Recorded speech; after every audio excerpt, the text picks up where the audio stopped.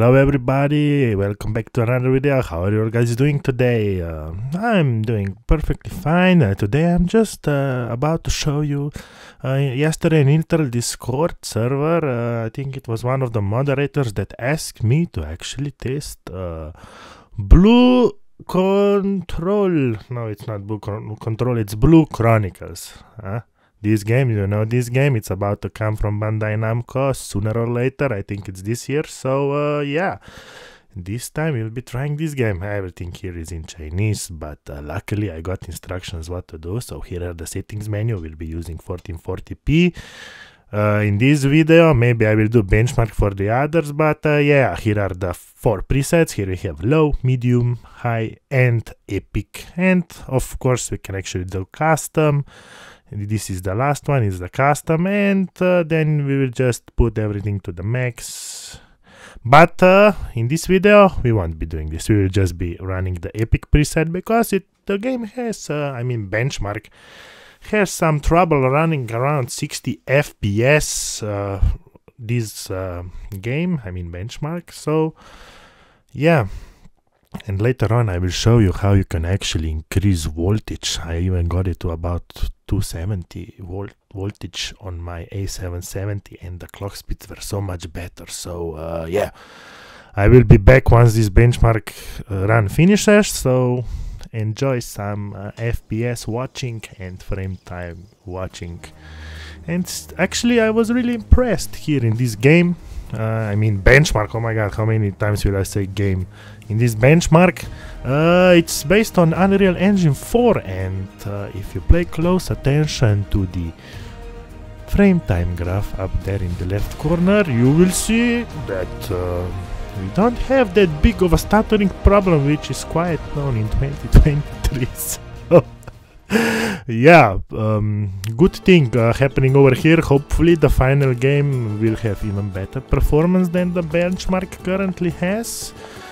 But we'll see once the game fully releases. Will you be playing this Blue Chronicles MMORPG or do you like to play some other games? I surely will be testing it out and uh, who knows maybe it's actually maybe it will actually be a really good uh, MMORPG. We'll see once this gets uh, released. So um, yeah, enjoy the full benchmark and uh, I'll be back soon.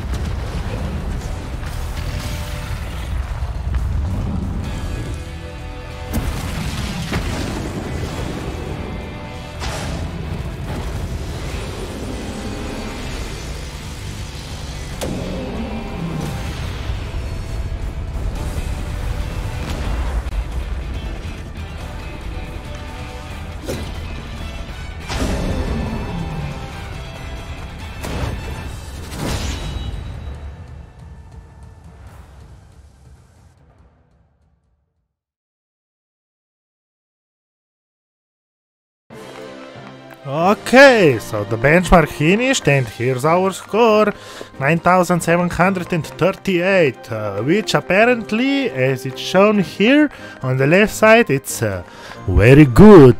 But this we are talking about uh, stock setting for the Intel Arc A770 and uh, of course here I am all about overclocking this GPU so we will obviously try to beat this record. And we'll see if uh, overclocking will actually help us achieve a better score than 10,000.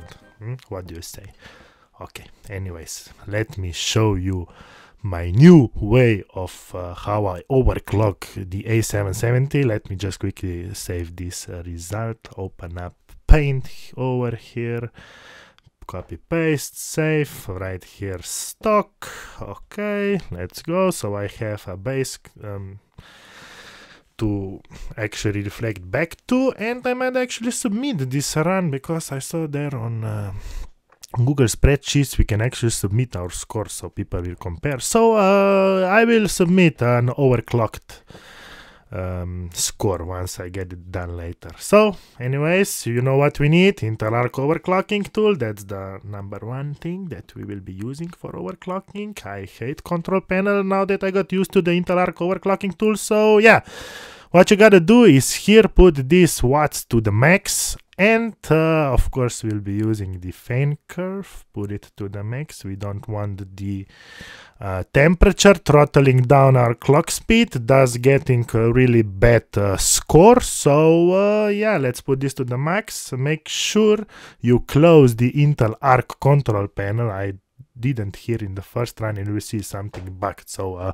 here I'll be using the uh, CRU. I will leave the, the link down in the description. It's custom resolution utility or something like that. We just use this to actually restart the driver just as it was noted here. You saw Elgato was not capturing any screen because the driver was uh, being restarted.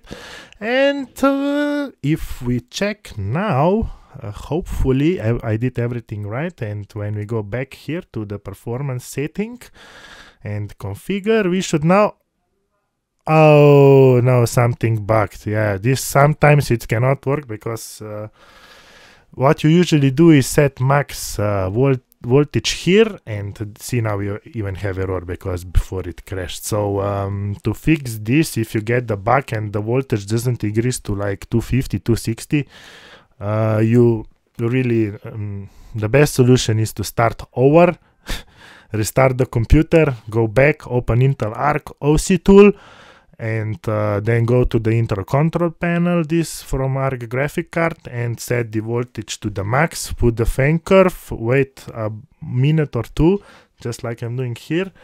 Um, and uh, then use the C CRU uh, tool to um, reset the driver, thus uh, making it possible to actually boost the voltage to uh, higher values.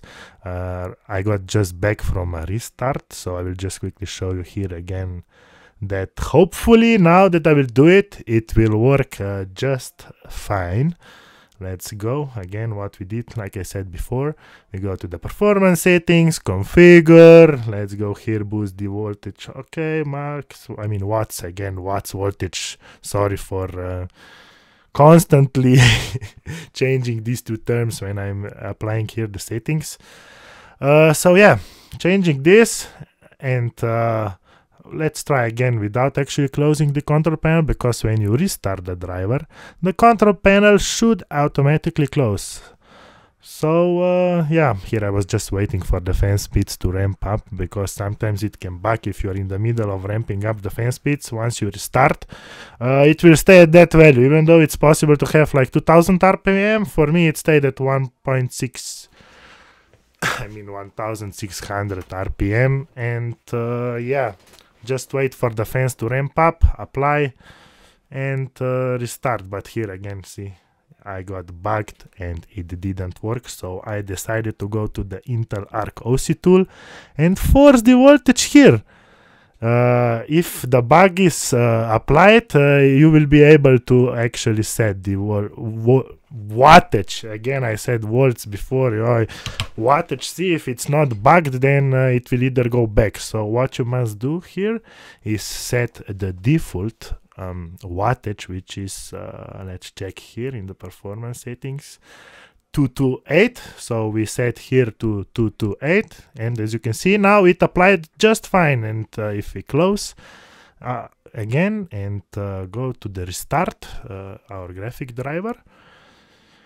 Now hopefully once we are back uh, we should have an option to actually apply more which uh, yeah it did. See now we are at 255 wattage. So let's test it out and see how it goes. This time I will speed up the benchmark a bit, so uh, just do some talking beside. And as you can see, I did too many restarts over there, and uh, my monitoring bugged. We got 0 volts, 40 watts, and our GPU clock speed is at 600. and CPU is at 46. Oh my god, what is happening? But um, as you will see in the end the overclock actually worked because uh, we got a better score than uh, what we had before 9700 something.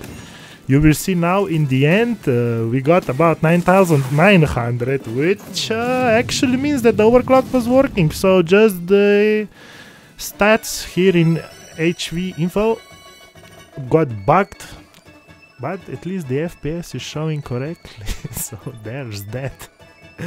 Anyways, we are about to uh, finish the benchmark run here and see if I was really correct that we have a better score than before. It will be close, it will be close, we are, uh, we are almost there. Oh, it's already past our stock setting, so yeah, it feels like it's working a little bit better than before. Let's go, let's go. Will we pass 10k? Will we pass 10k this run? No, we did not pass 10k, but uh, we did get better performance here. Let me quickly save this down because uh, I need this for later usage. And uh, yeah, restarting. So I fix this HWiNFO back. And uh, let me do this thing again where I go to the fan curve and put to the max, watts to the max and close the control panel this time. Now go to CRU and put the restart, run as administrator. And let's see now if uh, closing control panel helped before. And as you can see, whoa, we had a much better, uh, bigger wattage number now. We can put to 272.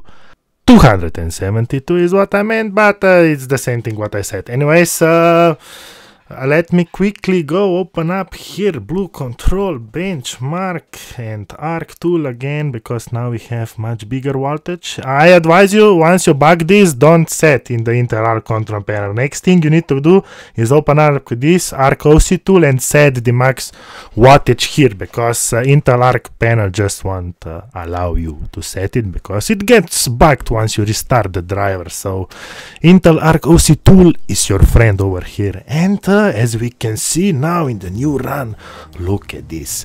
We are over 250 watts and we are getting a little bit better megahertz speed on the core clock. 2.7 gigahertz megahertz uh, too much uh, power right now surging through the graphic card. 1.125 volts 1.13 volts. Uh, I actually found out if I have 1.1 1.15 or 1.17 volts the core clock speed drops. So uh, that's just my card. Your card could be something different. Oh as you can probably see uh, the overclock crashed. So uh, yeah.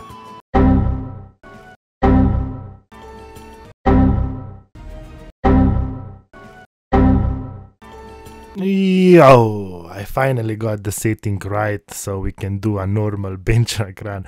It probably clashed like 50 times before I found a stable overclock for this benchmark, so yeah, such is the experience once you overclock your graphic card. Expect it to crash until you find the most stable uh, clock speed for your graphic card. Let me just, oh, it's set to the max setting, I mean max, the epic preset. So uh, yeah, let me just quickly run over here now and uh, let's hope we beat that 10k mark. I tested this overclock, it's 2.7 gigahertz, uh, at least it tries to be in this benchmark. When I was running this in Call of Duty and other games, oh, it was working just fine, even better than here, but uh, I think this Blue Chronicle benchmark is quite intensive. Uh, in Discord, I talked with one guy. He said that uh, his uh, 5700X processor, though on stock cooler, that it ramped up big time. But for me, I don't know. We see around 5 gigahertz, but usage in CPU it's 10, 15 percent. So um, I'm not sure why the speed, uh, I mean fan speed would ramp that high because my Noctua NH-D15 was uh, whisper quiet when I was testing this except the Intel A770 graphic card. So once you overclock it to above 250 watts it starts to coil whine big time and it, it was screaming in pain. uh, maybe I will do a 4K run of this benchmark and post a short up here and also record how the graphic card is screaming for help. yeah, let's go, let's go! Come on, follow me! Let's get this dragon right now! Come on! Then we're gonna leave and go to the chopper and go back to the safety! Okay. Someone said that I have a kind of voice of Schwarzenegger, Arnold, so I did my best to work here. Haven't done the impression for quite some time. So, anyways, guys, see you in the next one. Subscribe and um,